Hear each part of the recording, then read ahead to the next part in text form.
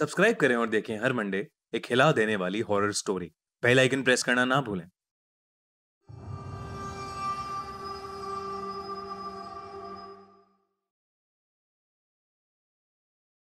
आप सभी ने ग्रैनी हॉरर गेम के बारे में तो सुना ही होगा। आजकल इस गेम का क्रेज बहुत सारे लोगों में काफ़ी ज़्यादा बढ़ गया है। उनमें से एक है रहीम, जिसने हमें इस वीडियो की स्टोरी भेजी है। चौदह साल का रहीम दिन भर ग्रैनी गेम खेलता रहता था और किसी की कोई बात नहीं सुनता था। उसके पेरेंट्स उससे बहुत परेशान हो चुके थे, क्योंकि वो अब पढ़ाई में ध्यान नहीं देता था। रहीम की एडिक्शन दिन ब दिन बढ़ती जा रही थी। एक रात जब रहीम ग्रैनी गेम खेल रहा था, तभी अचानक ही उसका फ़ोन बंद हो गया। उसने अपना फ़ोन वापस ऑन करने की कोशिश की, पर कुछ नहीं हुआ। रहीम को लगा कि शायद उसके फ़ोन की बैटरी खत्म हो गई है। तो वो अपनी अलमारी से चार्जर निकालने के लिए उठा। तभी उसे लगा कि जैसे उसके कमरे की तरफ़ कोई आ रहा है। उसने दरवाज़ा खोलकर देखा तो वहाँ दूर दूर तक कोई नहीं था।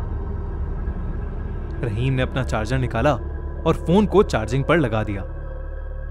उसने फिर अपना फ़ोन ऑन करने की कोशिश की, पर उसका फ़ोन फिर भी ऑन नहीं हुआ।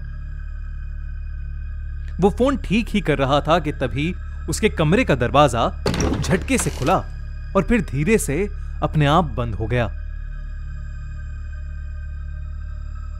रहीम थोड़ा घबराहट में दरवाजे की तरफ़ देख रहा था कि तभी दरवाजे के पास लगे हुए शीशे में उसे एक साया दिखा। लाइट ऑफ़ होने की वजह से वो साफ़ साफ़ नहीं देख पा रहा था।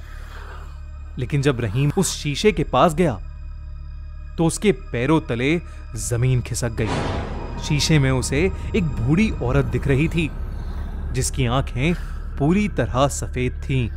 मुँह से हल्का सा खून बह रहा था और चेहरे पर एक बहुत ही डरावनी स्माइल थी।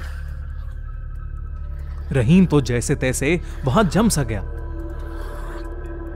वो एक टक लगाए उसी औरत को देखे जा रहा था।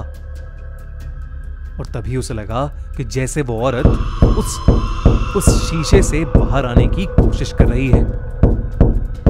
उसने अपना हाथ रहीम की तरफ़ बढ़ाया और रहीम को एक बहुत तेज सा खिंचाव फील हुआ। वो जैसे तैसे भागकर अपने बिस्तर में घुस गया। थोड़ी देर के लिए उसे ऐसा लगा जैसे अब उसके कमरे में कोई नहीं है। तो उसने अपने मुँह से चद्दर हटाई। पर वो बूढ़ी औरत ठीक उसके सामने हवा में झूल रही थी। उसने रहीम का गला पकड़ लिया और अपने लंबे नाखूनों से उसे ज़ोर से दबाने लगी। रहीम के मुँह से चिल्लाने की आवाज़ भी नहीं निकल पा रही थी। बस वो ज़ोर ज़ोर से अपने हाथ पैर चला रहा था। तभी हिम्मत करके रहीम बहुत ज़ोर से चीखा। उस आवाज़ को सुनकर रहीम के पेरेंट्स भागते हुए उसके कमरे में आए और उन्होंने देखा कि वो सोते हुए चिल्ला रहा है। उसकी मोम ने उसे नींद से जगाया और उसे बताया कि वो सपना देख रहा था। लेकिन उसकी मोम बात करते हुए रुक गई। जब उन्होंने देखा कि रहीम के गले पर असली के नाखूनों के निशान थे। उस दिन के बाद से रहीम ने हॉरर गेम्स खेलना छोड़ दिया। आपको क्या लगता है? क्या रहीम सच में कोई सपना देख रहा था? लेकिन फिर वो निशान, जो उसके गले पर थे, वो कहाँ से आए? क्या आपको भी हॉरर गेम्स खेलने के बाद बुरे सपने आते हैं? कमेंट्स में ज़रूर लिखिए।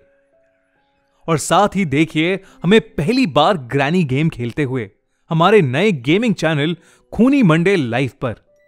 और अगर आपको एक कहानी अच्छी लगी तो हमारा चैनल खूनी मंडे सब्सक्राइब करना बिल्कुल मत भूलिएगा।